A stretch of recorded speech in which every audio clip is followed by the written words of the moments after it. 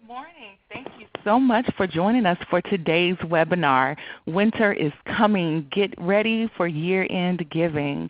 Today we will cover Part 1, and on December 8th at 11 a.m. we will finish up with Part 2.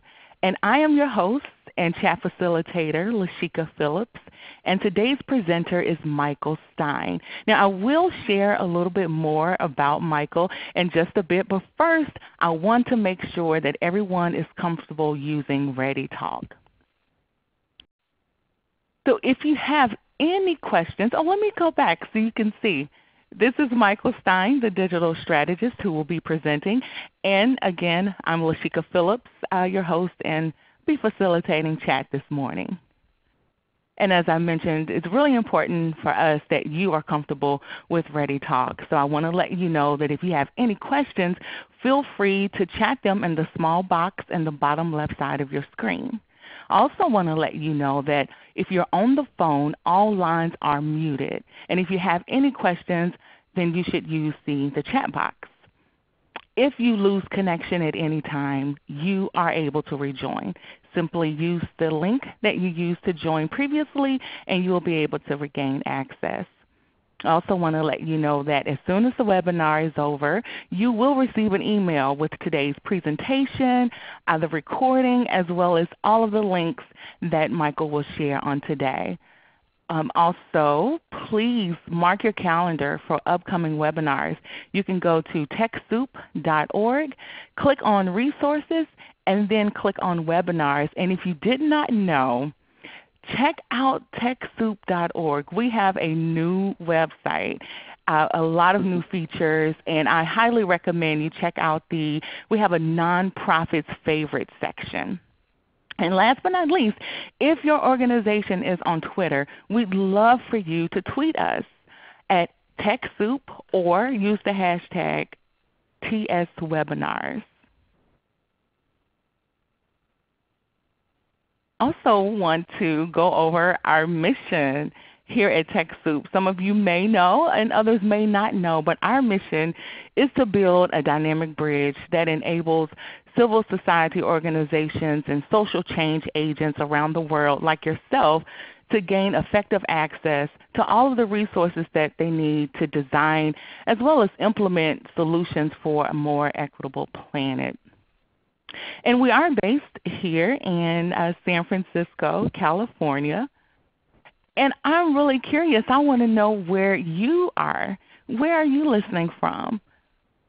Feel free to share your location in the chat box. We really like to know where our where our learners are are tuning in from. I see North Carolina. Thank you so much for tuning in and Boston and all over. Thank you so much for joining us. We're happy to have you all join us today. And by the way, I should mention that all of the blue shaded area on the map before you, all of those areas, that is where TechSoup is providing and facilitating donation programs. And we do that by partnering with partners such as Adobe and Symantec and Cisco and all kinds of technology. Uh, it's GoDaddy, even Shopify. Uh, so I highly recommend visiting our website, again, TechSoup.org, to learn more. And again, uh, check out our nonprofit favorite section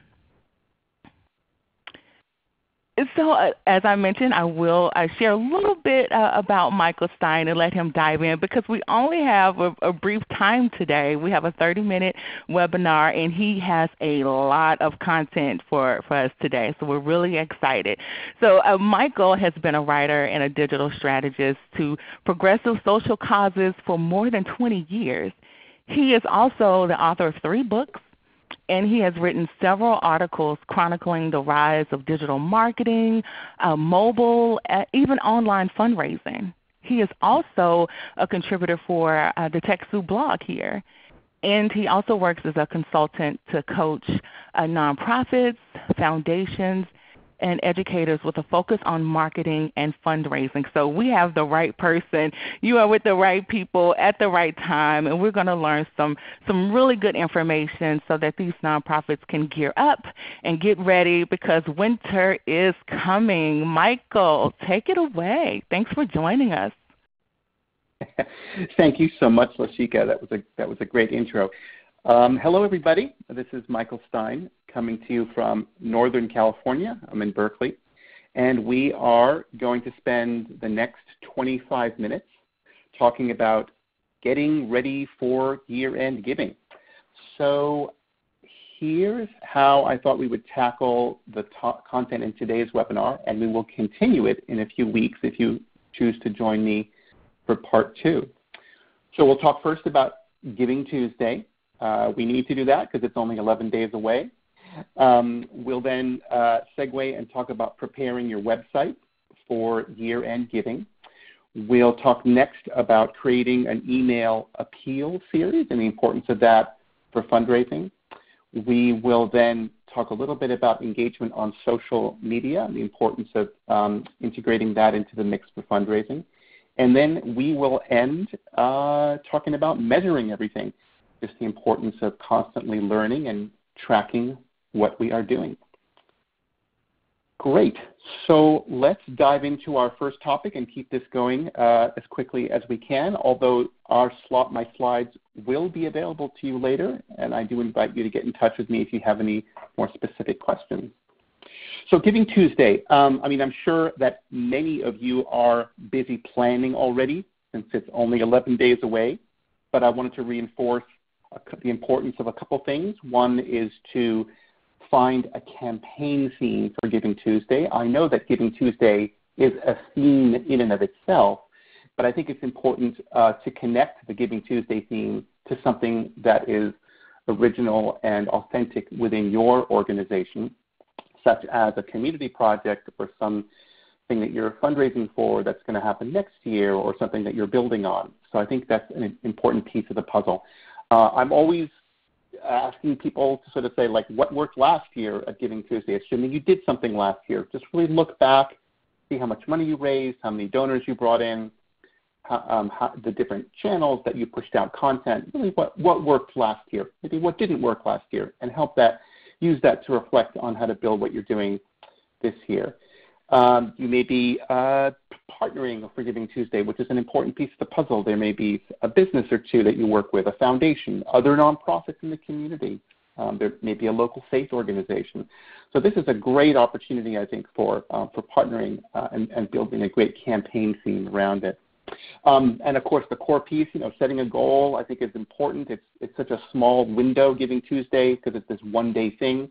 Maybe you're raising a certain amount of money. Maybe you're trying to attract a certain number of new donors. Maybe you're recruiting some monthly donors, and maybe you know you maybe you have a match, a challenge match that helps motivate people. But hopefully those things you can shape into your campaign theme and get people excited.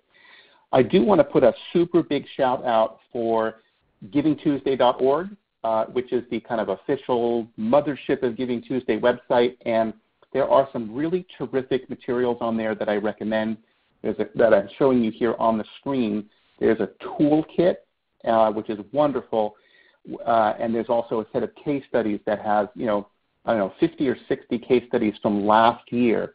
Uh, and I use these a lot, and I recommend people take a look at these materials. They're invaluable, and they're free to download from the site. Um, Another issue around Giving Tuesday really quick is really sort of getting the timing right. Giving Tuesday falls on a Tuesday. You have a, uh, you know, a couple of other big events. Thanksgiving the week before. You got a weekend. You got Black Friday and Cyber Monday all kind of meshed in there. Um, some obviously you're going to be fundraising on Tuesday the 28th. But think a little bit about what makes sense for your messaging. A lot of people like to message, you know, sort of before Thanksgiving to get people excited, introduce the theme. And then yeah, I think it's common for there to be a lot of messaging on the weekend itself. And then on Monday, it's, I think Monday is fair game for you know you can you know you can give today or tomorrow, and then you build a lot of uh, attention on the 28th for um, this is the final day for giving. But I would say don't don't limit yourself to just asking for money on the 28th, and really really e- expand um, as much as you can. A couple of other themes, just uh, you know, th- think multi-channel for Giving Tuesday. So if you've got any events that are going on right before it, there's no reason why you can't promote your Giving Tuesday fundraising. Uh, of course, you're going to want to be putting material on social media and on your web website. So again, just think think multi-channel so that you can um, really uh, build visibility. And of course, you're going to be doing emails and sending those out to your to, to your list and your file. Um, inspiring millennials to give and recruiting social ambassadors and using videos. I think those are all just you know other other ways to think about um, how to how to make noise on social media. Video is going to be helpful. I've seen some terrific videos that people have created for this for this one day activity. Again, you probably need a little bit of lead time to create videos, but I would I would encourage you um, to think about those uh, assets uh, to help you uh, build uh, build your build your campaign theme and to, to make as much noise as possible uh, on online. Again, I'll just close this topic and just say take a look at givingtuesday.org for those wonderful PDFs um, which you can download. Let's move on to our second theme today, which is preparing your website for the year-end giving season. And I have a couple of ideas that I wanted to share with you. The most obvious one, of course, is that just the importance of promoting your year-end fundraising appeals on your homepage. I mean, for most organizations, the homepage gets the most traffic. Um, so whether you have a carousel or whether you have a big section at the top for headlines, it's just really important that your website be poised for year-end giving. A lot of people have normal content there. This is a good time to switch out that content or to share the content. Again, you want to make sure you have a clear headline, you know, donate to help our you know, campaign for next year or give, you know, tax deductible, help with, with our match. Just really get your, your headline and the value proposition of, you know, why the gift really helps us do X or Y. Uh, really reinforce the importance of images to inspire people to give and the all-important button which would say donate now or, or help us with our match, whatever, whatever the messaging is going to, is going to work best for you. Over here on the right, you know, just an example from uh, the SETI Institute, which was a client that I was helping just last week and we were talking with them about, hey, let's get this carousel prepared for year end. And they have a little section over here on the right of their page. Um, and I wanted to make sure that, that was appropriately ready uh, to promote their year end campaigns. Here is another quick example. This one is from the Middle East Children's Alliance. Again, I was talking with them about, hey, let's take this panel at the top here that says 95% water in Gaza is unsafe. We're gonna we're gonna we're gonna change that a little bit and focus it a little bit on, on the on year end. Uh, and then that button which says learn more, we're going to change that, and it's going to turn into a button that says um, it's going to say either uh, donate now or it's going to say um, match my gift. So again, think about the best way that you can use your um, your website to do that, and also think about other places on your website uh, that you can uh, basically strengthen your appeal. If you're fundraising actually for a specific project or uh, the unveiling of something new or a campaign, um, you know, you could maybe, you know, this is again on the Middle East Children's Alliance site. They have a section on news and updates, and I suggested that let's let's take this this item here on project updates and make sure at least one of these um, is connected uh, to uh, to your year year end appeal, and then always I will remind everyone, you know, let's make sure that you're, you know, looking at your website on on mobile devices. If there's ways to improve the look and feel of those things, that's going to be important because you're going to get a lot of traffic from people using their mobile devices at the year end, especially if they get your, your emails, they're going to click through, and so it's just important to put your best foot forward in that way. Another big theme for preparing your website is the Lightbox. So the Lightbox is are these pop-up you know, images that, that, that appear uh, on, whenever a visitor comes to your site. I think they're very important at the year end to promote your fundraising. I definitely recommend that everyone have one for the final two weeks of the year. Um, if you feel that that's a little too much, then fine. Maybe it's the last week of the year. But the idea is that you really want to get in front of people. Uh, I think it should appear absolutely on the home page and in a perfect world on the top 20 pages of your site. And if you have the ability to control how often it shows, I would say, you know, you only want to show it to new visitors so if someone comes back again and again, they're not seeing it over and over. This particular example over here on the right is from the Children's National Health System in DC. I, I like this, this pop-up, this light box. uh, because it includes um, the gift amounts, which I think is an interesting way for people to see to build some expectations. I mean, granted, $1,000 may be too much for some donors, but it starts at 35. The other amounts, it gets people thinking right away. Yeah, I want to I want to help children this this holiday season, and I love the Children's National Health System. Um, this particular example here is from the International Medical Corps. I just, you know, this picture just says the whole thing. It's a very strong photo. Photos are very important as part of light boxes. And again, you've got your headline, you've got your um, you've got your buttons. So this is a nice, clear, uh, clear light box. Of course, when you click the, the, anywhere on the light box, the idea is that it takes the visitor to the donation page where they can continue uh, to, com- to complete their donation. Another quick example, this one is from the SETI Institute that I was referencing before, the group of scientists. This one I thought was just clever with the planets. Uh, you don't, um, uh, doesn't have to always be square. This one's kind of circular, uh, and this one again emphasizes that December 31 uh, a couple times, and this one was running for the last week of the year. I think I have one more example to show you. This one is from the Golden Gate National Parks Conservancy. This one's pretty fancy. It's got a countdown clock. Not everybody can pull that off, but I just wanted to mention that. Okay, our third topic is the email appeal series, and I wanted to just throw out a couple couple thoughts in a few minutes. Um, just the importance of creating an email appeal series that you can deploy during the month of December. Uh, I've seen people do, you know, two or three in December, and I've seen other organizations do as many as nine or ten in December, and spreading them out. Um, you know, maybe most people tend to clump, you know, three or four of them during the last week of the year, just because that tends to be a busy time for giving. But other organizations, you know, like to spread them out. Most people like to avoid the Christmas period, uh, but other people like to use the Christmas period. So it's really variable and really depends a little bit on you know what how your organization works, what the issues you work on, and also what else is going on with the messaging that you might have. Of course, the appeal series itself should increase in urgency. So you might start out talking about a match, and then you would, as you get closer and closer to December 31, you might talk about the deadline coming up and only a few more days left. And I'm sure many of you uh, have lots of experience um, with that kind of um, uh, with that kind of me- messaging.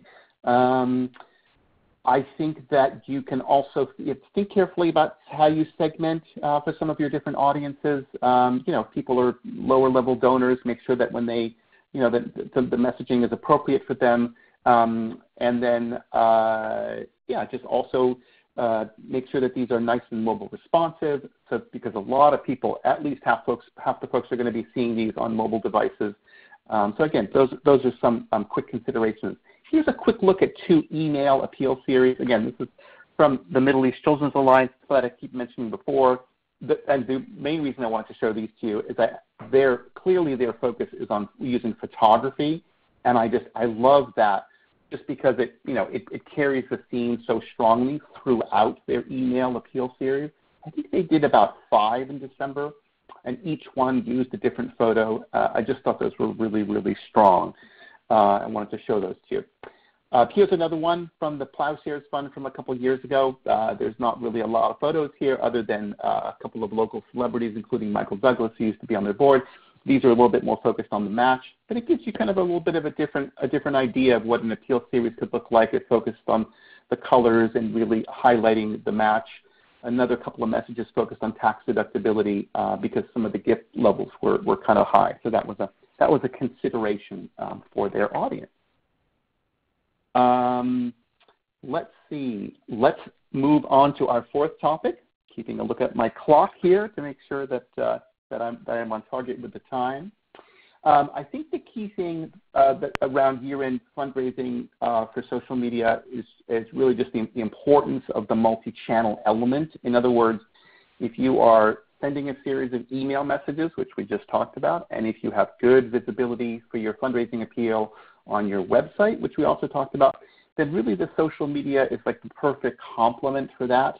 And it's just important uh, to, to, just think multi-channel uh, and to make sure that you're integrating the content uh, appropriately. So as you deploy emails and they have different themes, or as you put different material on your website, like just, you know, create create a little a little matrix so that you can keep track of you know when you want to post content on social media that ties in well with it. And of course, uh, you know, you're going to put a, a, a, fundraising appeal on social. You're going to create uh, links in your social media that are going to allow people to click through and go. In, a, in an ideal world, they would go directly to your donation page. Although I know you may want to try using some of the fundraising tools that are available, for example, on Facebook. nothing wrong with that. But I think the, the you know more common to see people have links that bring them, you know, over back to your website where you have a little bit more control over that over that giving giving amount. Um, social media, like super important to focus uh, on use of images, um, and uh, I, I, just I, I, I, love watching this happen in real time in December uh, and see how people are, you know, they're taking pictures from the emails, they're thinking about, you know, how to how to create emotion on social media and also just important to, you know, to, to, to create uh, an, an, engagement loops, respond and thank people and engage if someone posts a comment. Um, if you're able to, you know, thank donors on social media, that's, that's great too with their permission.